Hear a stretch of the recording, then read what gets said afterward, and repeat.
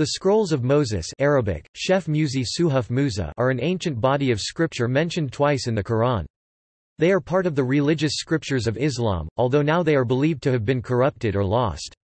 These scriptures are understood by Muslims to refer not to the Torah, the main book of law which Moses was given, but to an ancient text, which contained some of the inspired revelations which Moses received over his years of prophecy, which were then written down by Moses himself as well as his followers.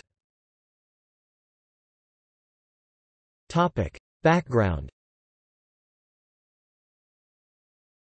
In two chapters, which are dated from the First Meccan period, there is a reference to the leaves, scrolls, journals suhuf of Abraham and of Moses, by which certain divinely inspired texts handwritten by the patriarchs are meant.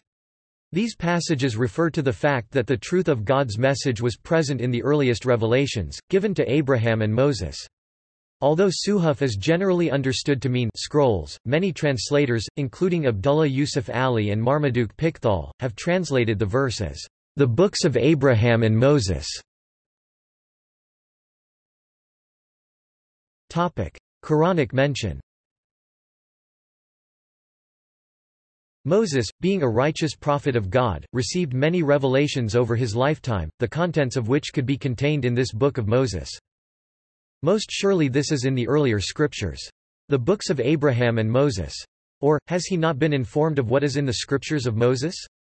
And of Abraham who fulfilled the commandments. Topic. Identification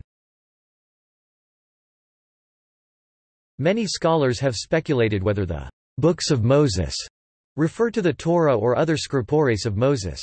But the Islamic belief that the Torah was, in its original form, a single scripture of law, the plural emphasis on books and not book leads many to believe that these books are different.